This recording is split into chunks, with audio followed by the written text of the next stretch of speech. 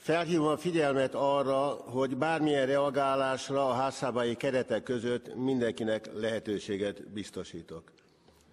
Normál felszólásra következik 15 percben Schneider Tamás a Jobbi képviselője. Tisztelt elnök úr, tisztelt ház!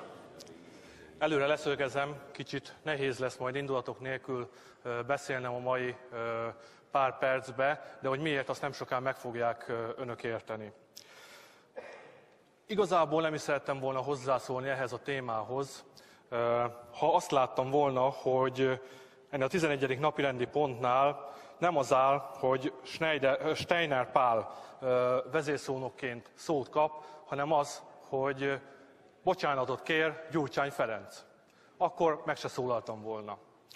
De nem ez történt, látjuk, hogy nem ez történik, nincs itt az, aki felelős a történtekért.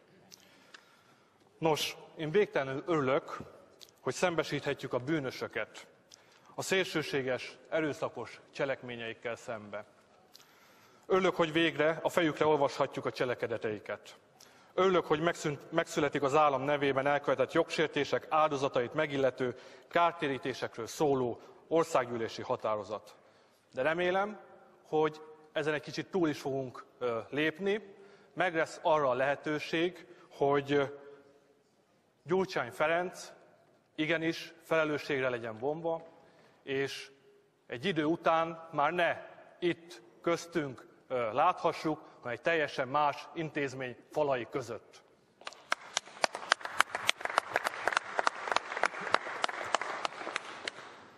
Nos, igazából azért kértem szót, mert én az október 23-ai eseményeknek gyakorlatilag teljes végig a szemlélője és átélője voltam. És az, ami ott történt, az tényleg hihetetlen számomra. Engedjék meg, hogy csak pillanatképeket mondjak el, hogy miket láttam én azon a nap folyamán.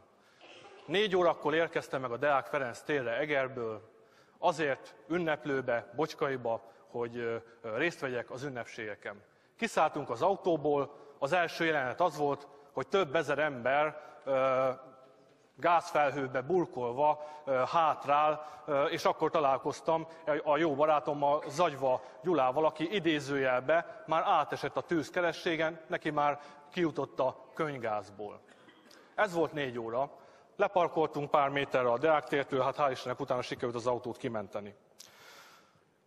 Ezután tudjuk jól, hogy ott egy pillanatra, egy, egy rövid időre megálltak a rendőrök, majd, ahogy már itt elhangzott, kiadták a parancsot, hogy merre kell tovább szorítani azt a sok ezer embert arról a területről.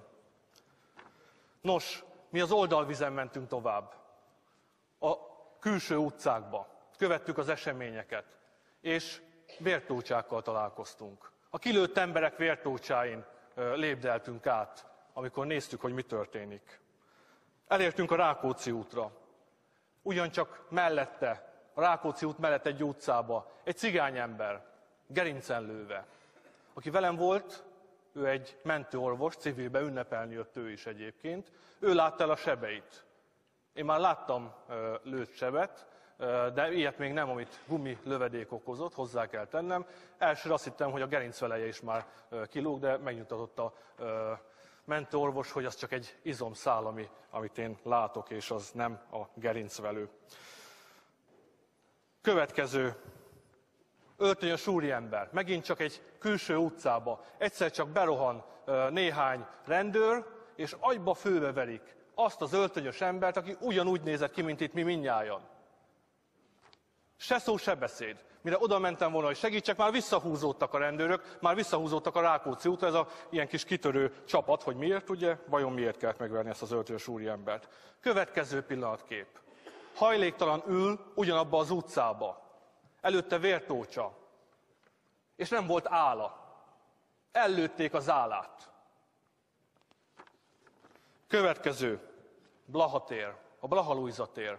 Ott megálltak a rendőrök, kialakult egy ellenállási gózpont, mondjuk így. Sorra jöttek a sebesültek. Mi a Akácfa és a Dohány utca sarkánál kialakítottunk egy első segély helyet. És kérem szépen, fél tucat ember volt a fal mellé kiterítve, akiket hoztak be, köztük a szem, akinek a szemét is kilőtték, mire a mentő megérkezett, és láttuk el a sebeiket. Semmivel se különbözött, mint hogyha 56-ot éltük volna meg. Menjünk tovább. Felszámolták a Blaha, Luisa, a Blaha téri ellenállást. Következő dolog. Innentől kezdve a körúton embervadászat folyt. Csak annyit láttam, hogy jön a lovas, lovas rohamrendőr, és futó nőket vernek fejbe. Egy férfit ugyancsak elláttunk első segélybe, mert csak egyszerűen ő is öltönybe volt, ott volt éppen a kardlap előtt, és mindjárt fejen vágták. A hölgyek menekültek a rendőrsorfal előtt. Volt, aki levetette a cipőjét, mert ugye nem tudott volna futni tűsarkú cipőbe, hogy elmeneküljön behúzottunk egy lépcsőházba, és jöttek a rendőrök. És kérem szépen látták, hogy vagy 10-20, illetve hát kb. 14-en voltunk, akik behúzottunk abba a lépcsőházba, és persze be akarták törni az ajtót, nem tudtuk bezárni. Két férfi ember volt, ketten neki, ne, nekivetettük a hátunkat az ajtónak, és próbáltuk tartani. És tartottuk is hozzá kell tennem. Közben befújták a gásprét természetesen. A fiatalember, aki velem volt, hál' Istennek ereje teljébe volt ő is, ő már idegességében még bizony csúnya szavakat mondott a rendőrökre, és mondtam neki, hogy nem mondj, ne helgeld őket, mert ha ezek betörnek, gondolj a gyerekekre és a nőkre, akik velünk vannak, ezeket mind meg fogják verni. Ilyen ilyen, ilyen események történtek. Ahogy Ékes Ilona képviselőasszony elmondta, hogy mi történt akkor, ha sikerült betörniük a rendőröknek egy ilyen helyre, akkor miránk is ugyanez a sors várt volna. Nos, nem akarom az egész nap élményét végigmondani. A lényeg talán az, hogy a végén, miután ott az embervadászatból sikerült kikerülni, átgyalogoltam a barikádhoz, a Erzsébet hídnál lévő barikádhoz. És itt már csak egyetlen egy gondolatot szeretnék hozzáfűzni. Kérem szépen, én teljesen nem tudok egyetérteni Siffer András úr hozzászólásával a végén, illetve néhány képviselőtársam hozzászólásával, hogy a barikád építés törvénytelen. Kérem szépen, barikádot nem azért építenek az emberek, mert meg akarnak valakit támadni, hanem hogy megvédjék magukat és hogy jogos volt az önvédelem ezen a napon, akár a Blaha Luisa téren, vagy ott barikádot építeni? Igen, jogos volt. Nem tudom, hogy mit mond a törvény, én nem vagyok jogász. De kérem szépen, hogy miért volt jogos? Azért, mert amint felszámolták az ellenállást, kezdődött az embervadászat. Védték magukat az emberek mindenhol.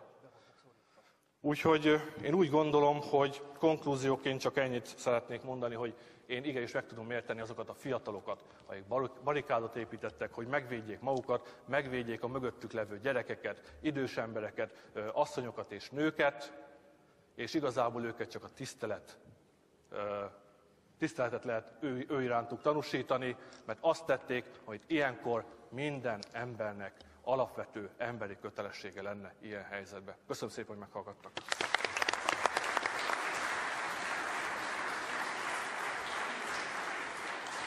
Megköszönöm képviselő felszólalását.